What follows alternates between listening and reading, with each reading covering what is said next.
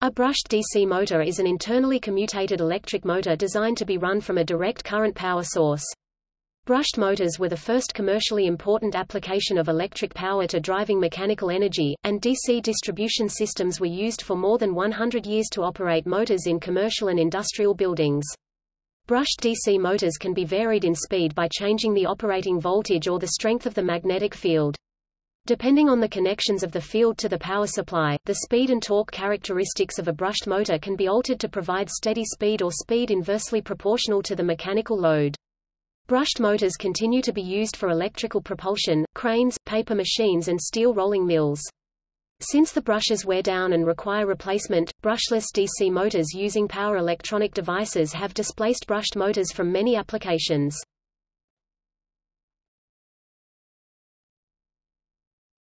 Topic: Simple two-pole DC motor. The following graphics illustrate a simple, two-pole, brushed, DC motor.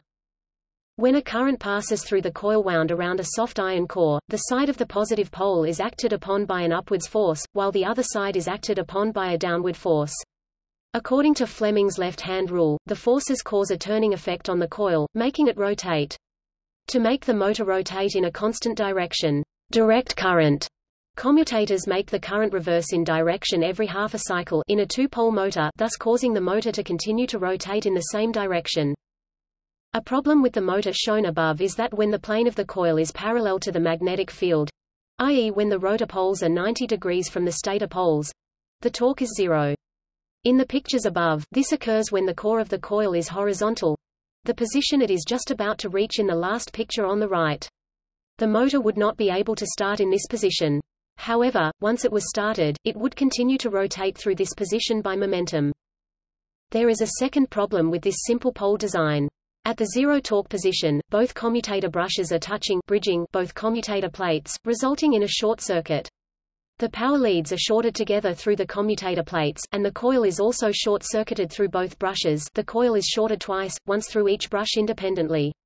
Note that this problem is independent of the non-starting problem above. Even if there were a high current in the coil at this position, there would still be zero torque.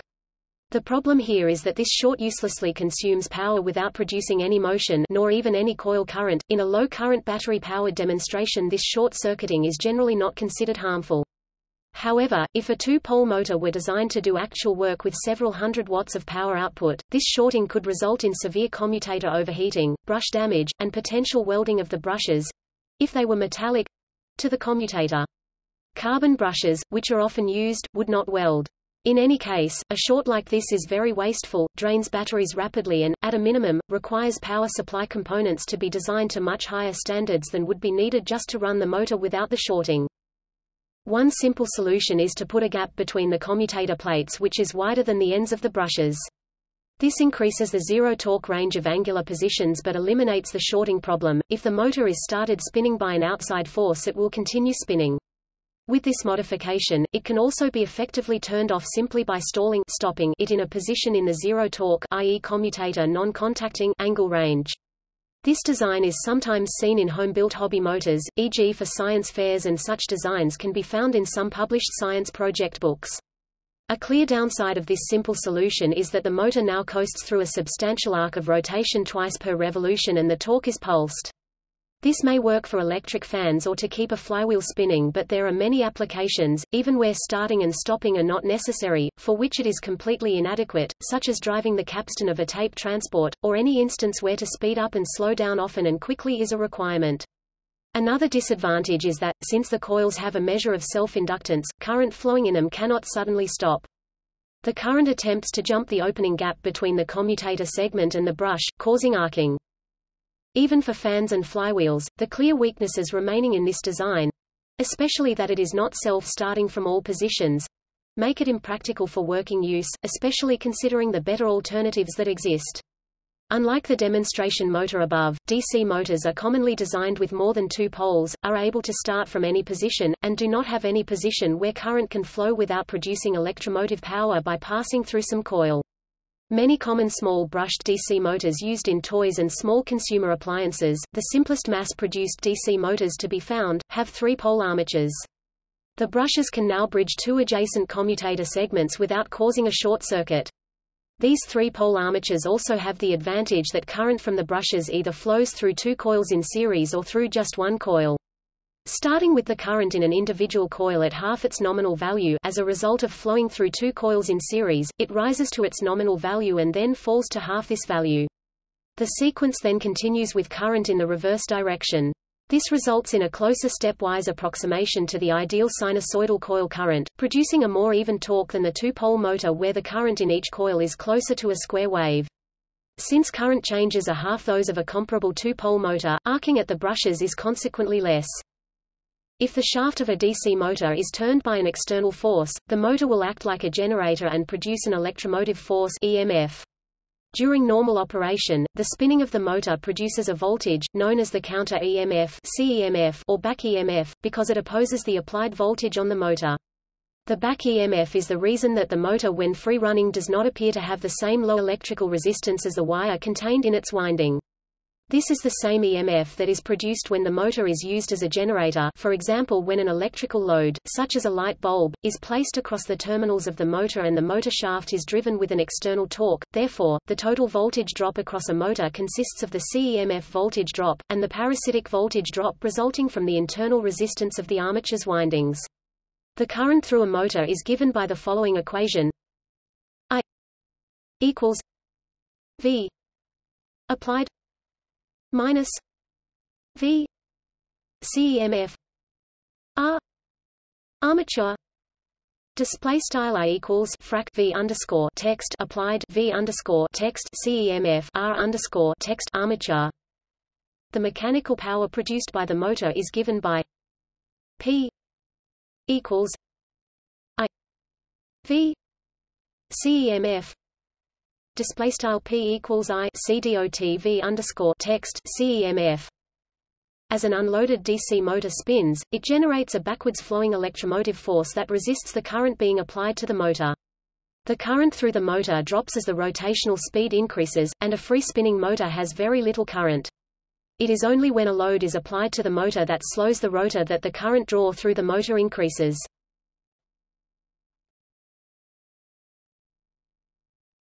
Topic: The commutating plane. In a dynamo, a plane through the centers of the contact areas where a pair of brushes touch the commutator and parallel to the axis of rotation of the armature is referred to as the commutating plane. In this diagram the commutating plane is shown for just one of the brushes, assuming the other brush made contact on the other side of the commutator with radial symmetry, 180 degrees from the brush shown.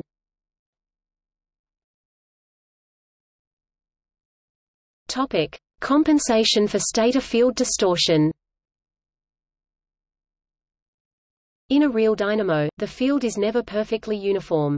Instead, as the rotor spins it induces field effects which drag and distort the magnetic lines of the outer non-rotating stator. The faster the rotor spins, the further the degree of field distortion. Because the dynamo operates most efficiently with the rotor field at right angles to the stator field, it is necessary to either retard or advance the brush position to put the rotor's field into the correct position to be at a right angle to the distorted field. These field effects are reversed when the direction of spin is reversed. It is therefore difficult to build an efficient reversible commutated dynamo, since for highest field strength it is necessary to move the brushes to the opposite side of the normal neutral plane. The effect can be considered to be somewhat similar to timing advance in an internal combustion engine. Generally a dynamo that has been designed to run at a certain fixed speed will have its brushes permanently fixed to align the field for highest efficiency at that speed.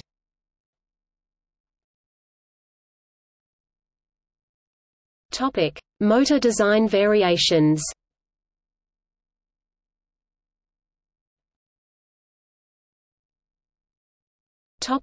DC motors Brushed DC motors are constructed with wound rotors and either wound or permanent magnet stators.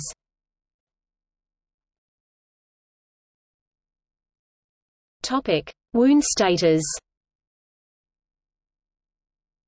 The field coils have traditionally existed in four basic formats, separately excited SEPEX, series wound, shunt wound, and a combination of the latter two, compound wound. In a series wound motor, the field coils are connected electrically in series with the armature coils via the brushes. In a shunt wound motor, the field coils are connected in parallel, or shunted, to the armature coils. In a separately excited motor the field coils are supplied from an independent source, such as a motor generator and the field current is unaffected by changes in the armature current.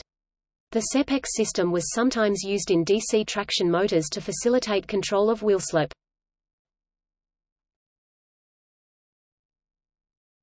Topic: Permanent magnet motors. Permanent magnet types have some performance advantages over direct current, excited, synchronous types, and have become predominant in fractional horsepower applications. They are smaller, lighter, more efficient and reliable than other singly fed electric machines. Originally all large industrial DC motors used wound field or rotor magnets. Permanent magnets have traditionally only been useful on small motors because it was difficult to find a material capable of retaining a high-strength field.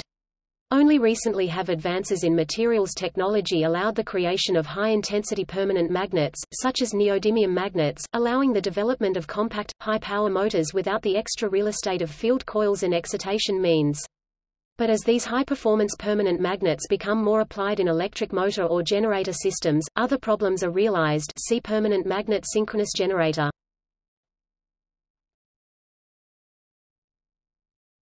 Topic. Axial field motors Traditionally, the field has been applied radially—in and away from the rotation axis of the motor. However some designs have the field flowing along the axis of the motor, with the rotor cutting the field lines as it rotates. This allows for much stronger magnetic fields, particularly if Halbach arrays are employed. This, in turn, gives power to the motor at lower speeds. However, the focused flux density cannot rise about the limited residual flux density of the permanent magnet despite high coercivity and like all electric machines, the flux density of magnetic core saturation is the design constraint.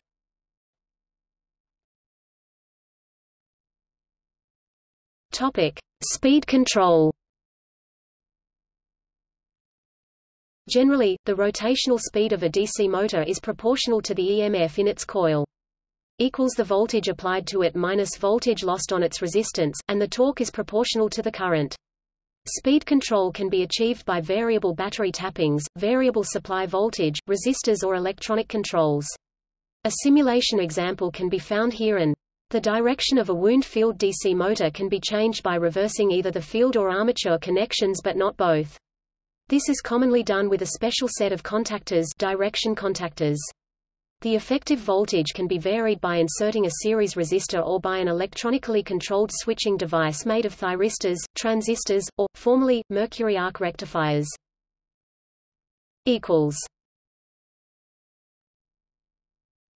Topic: Series parallel. Equals. Series parallel control was the standard method of controlling railway traction motors before the advent of power electronics. An electric locomotive or train would typically have four motors which could be grouped in three different ways. All four in series each motor receives one quarter of the line voltage. Two parallel groups of two in series each motor receives half the line voltage. All four in parallel each motor receives the full line voltage this provided three running speeds with minimal resistance losses. For starting and acceleration, additional control was provided by resistances. This system has been superseded by electronic control systems. Topic: Field weakening. The speed of a DC motor can be increased by field weakening. Reducing the field strength is done by inserting resistance in series with a shunt field, or inserting resistances around a series-connected field winding, to reduce current in the field winding. When the field is weakened, the back EMF reduces, so a larger current flows through the armature winding and this increases the speed. Field weakening is not used on its own but in combination with other methods, such as series parallel control.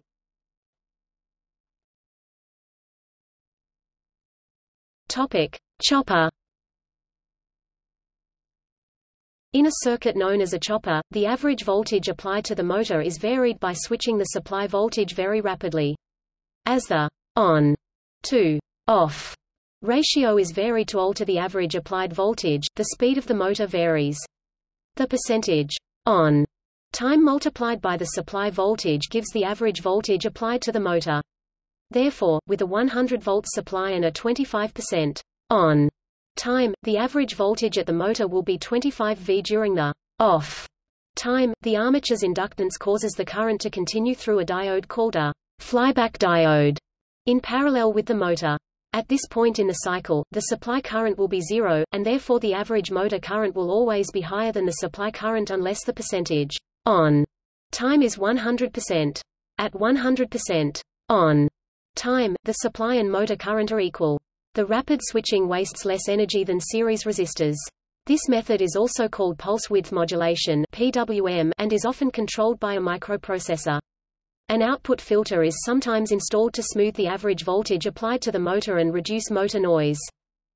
Since the series wound DC motor develops its highest torque at low speed, it is often used in traction applications such as electric locomotives, and trams.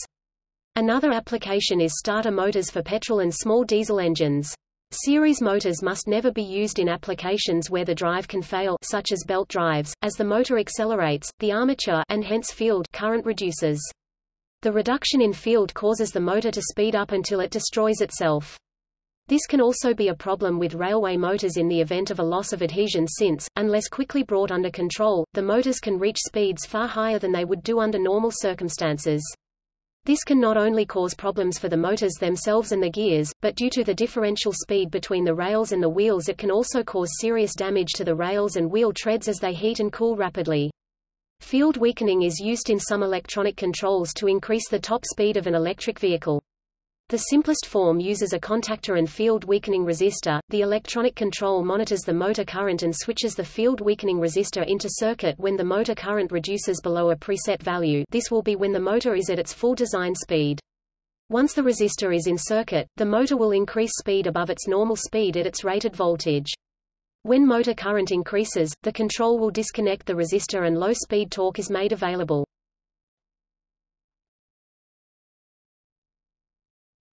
Topic: Ward-Leonard A Ward-Leonard control is usually used for controlling a shunt or compound wound DC motor, and developed as a method of providing a speed-controlled motor from an AC supply, though it is not without its advantages in DC schemes. The AC supply is used to drive an AC motor, usually an induction motor that drives a DC generator or dynamo. The DC output from the armature is directly connected to the armature of the DC motor sometimes but not always of identical construction. The shunt field windings of both DC machines are independently excited through variable resistors. Extremely good speed control from standstill to full speed, and consistent torque, can be obtained by varying the generator and or motor field current. This method of control was the de facto method from its development until it was superseded by solid-state thyristor systems. It found service in almost any environment where good speed control was required, from passenger lifts through to large mine pit head winding gear and even industrial process machinery and electric cranes. Its principal disadvantage was that three machines were required to implement a scheme five in very large installations, as the DC machines were often duplicated and controlled by a tandem variable resistor. In many applications, the motor generator set was often left permanently running, to avoid the delays that would otherwise be caused by starting it up as required. Although electronic thyristor controllers have replaced most small to medium Ward-Leonard systems, some very large ones thousands of horsepower remain in service. The field currents are much lower than the armature currents, allowing a moderate-sized thyristor unit to control a much larger motor than it could control directly. For example, in one installation, a 300 amp thyristor unit controls the field of the generator. The generator output current is in excess of 15,000 amperes, which would be prohibitively expensive and inefficient to control directly with thyristors.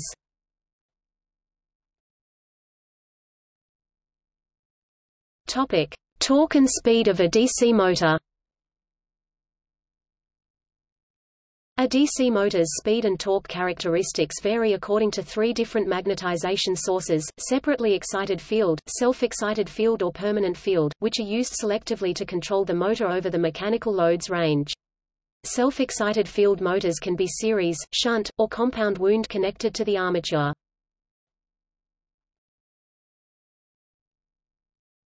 Topic: Basic properties Define E flat induced or counter EMF V. Iowa armature current A. KB counter EMF equation constant. Knots speed equation constant. KT torque equation constant. N armature frequency RPM Room motor resistance omega. T motor torque nanometer. VM motor input voltage V. Phi machine's total flux WB Topic. Counter EMF equation. The DC motor's counter EMF is proportional to the product of the machine's total flux strength and armature speed. E flat equals KB phi n equals. Topic. Voltage balance equation. Equals the DC motor's input voltage must overcome the counter EMF as well as the voltage drop created by the armature current across the motor resistance, that is, the combined resistance across the brushes, armature winding and series field winding, if any. Vm equals E flat plus room Iowa equals Topic torque equation equals The DC motor's torque is proportional to the product of the armature current and the machine's total flux strength. T equals 1 2 pi k b i a phi equals k t i a phi. Display style begin aligned T and equals frac 1 2 pi k underscore b i underscore a phi and equals k underscore t i underscore a phi end aligned where k t equals k b 2 pi equals Topic speed equation equals since n equals x a bit per kilobit phi and vm equals e flat plus room iawe have n equals vm minus rm ia kb phi equals k and vm minus rm ia phi. Display style. Begin. Aligned. N and equals frac v underscore m r underscore m i underscore a k underscore b phi and equals k underscore n frac v underscore m r underscore m i underscore a phi. End. Aligned. Where knots equals one per kilobit equals Topic: Torque and speed characteristics. Equals. Topic: Shunt wound motor. With the shunt-wound motor's high-resistance field winding connected in parallel with the armature, Vm, room and O are constant such that the no-load to full load speed regulation is seldom more than 5%. Speed control is achieved three ways. Varying the field voltage Field weakening Variable resistance in the field circuit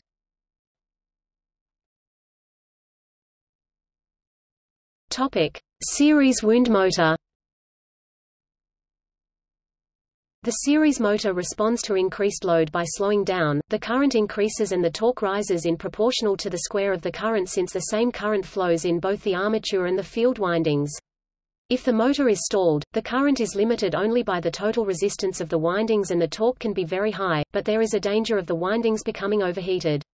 Series wound motors were widely used as traction motors in rail transport of every kind, but are being phased out in favor of power inverter-fed AC induction motors. The counter EMF aids the armature resistance to limit the current through the armature. When power is first applied to a motor, the armature does not rotate, the counter EMF is zero and the only factor limiting the armature current is the armature resistance.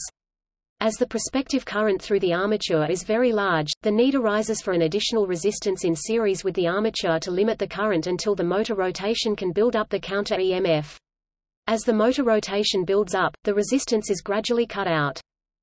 The series-wound DC motor's most notable characteristic is that it is almost entirely dependent on the torque required to drive the load. This suits large inertial loads as motor accelerates from maximum torque, torque reducing gradually as load increases. As the series motor's speed can be dangerously high, series motors are often geared or direct connected to the load.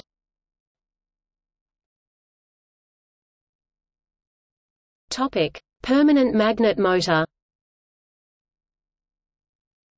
A permanent magnet DC motor is characterized by a linear relationship between stall torque when the torque is maximum with the shaft at standstill and no load speed with no applied shaft torque and maximum output speed. There is a quadratic power relationship between these two speed axis points.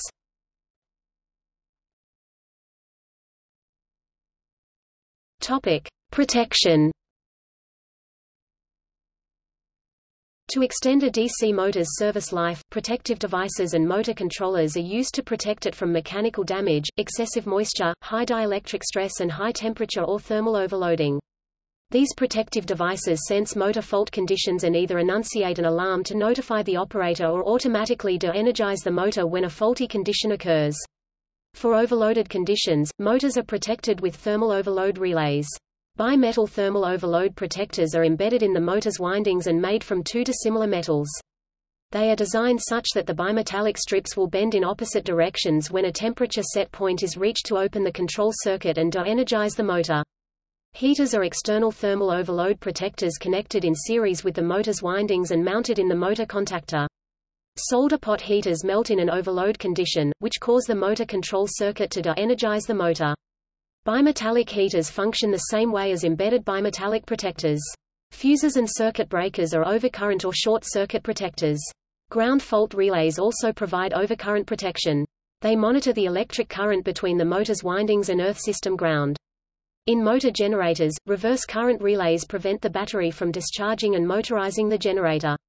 Since DC motor field loss can cause a hazardous runaway or overspeed condition, loss of field relays are connected in parallel with the motor's field to sense field current. When the field current decreases below a set point, the relay will de-energize the motor's armature. A locked rotor condition prevents a motor from accelerating after its starting sequence has been initiated. Distance relays protect motors from locked rotor faults. Undervoltage motor protection is typically incorporated into motor controllers or starters. In addition, motors can be protected from overvoltages or surges with isolation transformers, power conditioning equipment, MOVs, arresters and harmonic filters.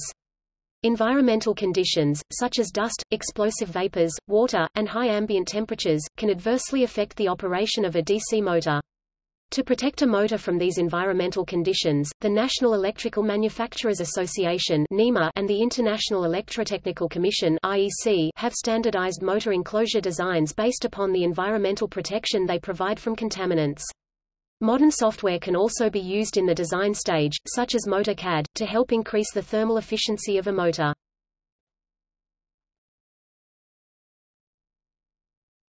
Topic: DC motor starters.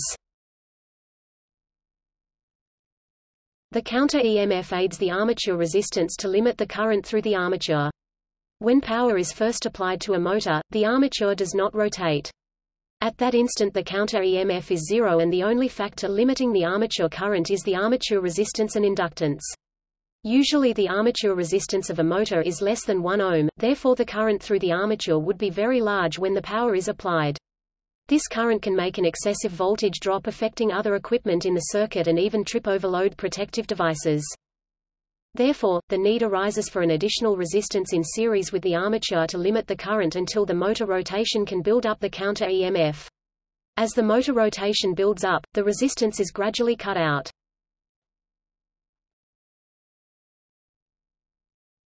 Topic: Manual starting rheostat. When electrical and DC motor technology was first developed, much of the equipment was constantly tended by an operator trained in the management of motor systems. The very first motor management systems were almost completely manual, with an attendant starting and stopping the motors, cleaning the equipment, repairing any mechanical failures, and so forth. The first DC motor starters were also completely manual, as shown in this image.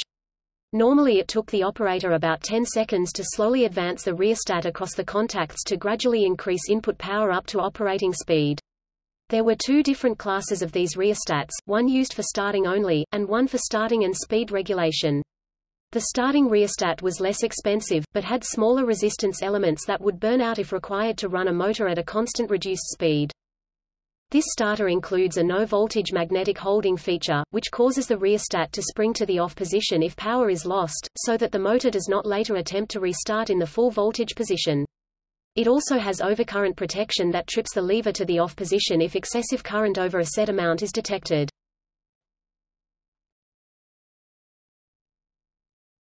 Topic: Three-point starter. The incoming power is indicated as L1 and L2.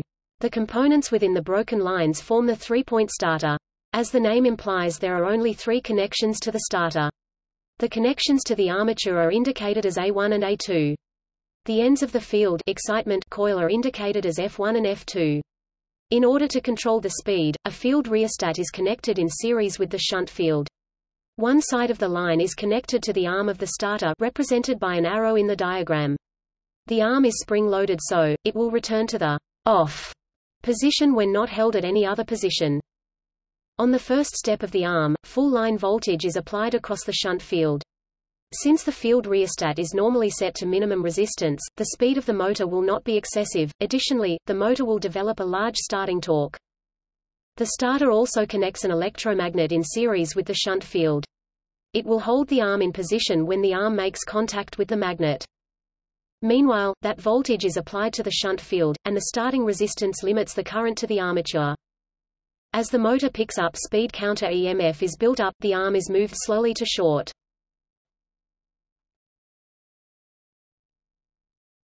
Topic: Four-point starter.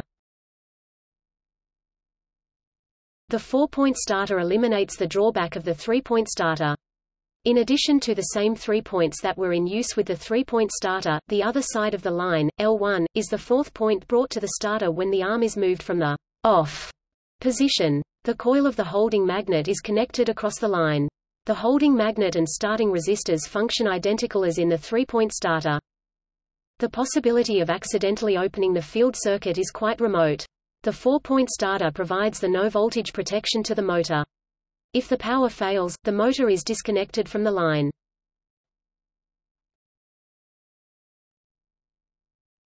Topic. See also Alternating current Brushless DC electric motor Equations of a DC motor under loading